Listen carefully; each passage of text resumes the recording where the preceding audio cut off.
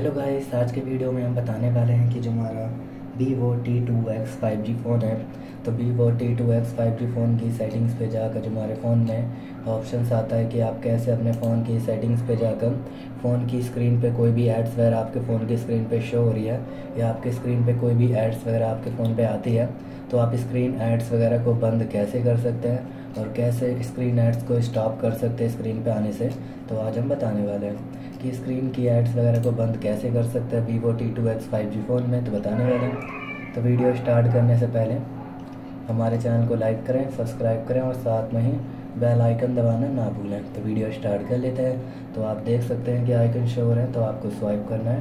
Swipe करते ही all icon open हो जाएँगे। जिसमें से आपके पास ऑप्शन आता है सेटिंग्स का। क्लिक करते ही सेटिंग्स से ओपन हो जाएगी।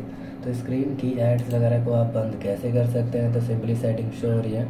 तो आपको ऐप सेटिंग्स पे जाना है, जहाँ से शी ऑल ऐप्स को ओपन करना है। तो जिस भी ऐप्स की जो एड्स होती है स्क्रीन पे आ रही हैं, फिर या शो हो रही हैं आपके फ़ोन में बार बार तो उसको बंद कैसे कर पाएँगे? तो आप देख सकते हैं, जैसे आपके पास ये ब्राउज़र है। ब्राउज़र है, इसकी एड्स स्क्रीन पे शो हो रही है। बार बार तो इसका डाटा आपको क्लियर कर देना है, जिससे आपके ब्राउज़र इसकी एड्स है आपकी स्क्रीन पे शो नहीं करेंगी।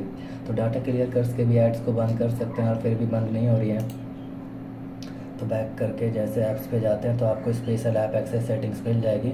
डिस्प्ले ओवर दस पे जाकर आपका जो क्रोम ब्राउज़र होगा इसमें जो भी ऐप्स होगा, उसका जो मतलब अलाउ है जैसे ऑन है तो आपको ऑफ़ करना है, जिससे आपकी एड्स वगैरह बंद हो जाएँगी। तो इस तरीके से भी स्क्रीन एड्स को बंद कर सकते हैं और स्क्रीन पे शो होने से रोक सकते हैं, है ना? प्राइवेसी पे जाकर एड्स की जो भी सेटिंग्स होती है, उनको आप रीसेट कर सकते हैं यहाँ से।